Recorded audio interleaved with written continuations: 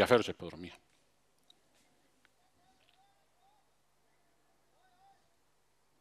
Έχει δοθεί εκκίνηση της 8η ε, υποδρομίας. Καλή εκκίνηση έχει ο Φωτεινός αλλά και New Division εξωτερικά που θα πάρει την ε, πρωτοπορία. Ο Φωτεινός είναι κοντά όμως τώρα εξωτερικά και η Μυρβανία θέλει να είναι σε καλή θέση και ο Πηγάσιος τώρα που βελτιώνει η θέση του. Στο μεταξύ, New Division έχει πάει στα δύο μήκη από την uh, Μιλβάνια. Εσωτερικά είναι ο Φωτεινός, εξωτερικά είναι ο Πηγάσιος. Πιο πίσω είναι η Μορκάνια. Ακόμη πιο πίσω είναι ο Νίκολας uh, Μέμορι, γλυτσά μέλη. Τελευταίος είναι ο King of Babylon. Με την New Division πάντα να είναι μπροστά. Και είναι στα 2-2,5 μήκη από την uh, Μιλβάνια απ' έξω και ο Πηγάσιος φαίνεται να έχει τις δυνάμεις. Ο Φωτεινός έμεινε λίγο πιο πίσω.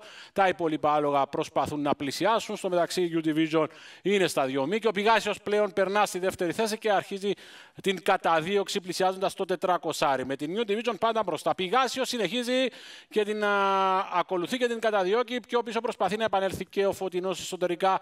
Α, προσπαθεί και ο King of Babylon. Η New Division στο μεταξύ είναι στα 3-4 μήκη. Το καλό το finish το κάνει ο King of Babylon. Προσπαθεί να επανέλθει και ο Φωτεινός. Η New Division είναι μπροστά και είναι στα 3-4 μήκη από τον King of Babylon που προσπαθεί να πλησιάσει. New Division έχει στα 2 μήκη τον King of Babylon που πλησιάζει. New Division για King of Babylon. New Division θα κερδίσει. King of Babylon, Φωτεινός και Πηγάσιος.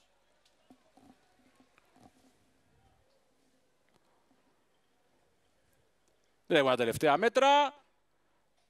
Θα οδηγήσει και θα κερδίσει. Όπως συχνά βλέπουμε τον τελευταίο καιρό, άλογα που πάνε στην πρωτοπορία, δύσκολα τα βάζουν κάτω. Το ίδιο κάνει και η New Division. Πολύ καλή εμφάνιση από τον King of Babylon. Στην τελευταία ακριβώς θέση κάνει ένα πολύ δυνατό finish.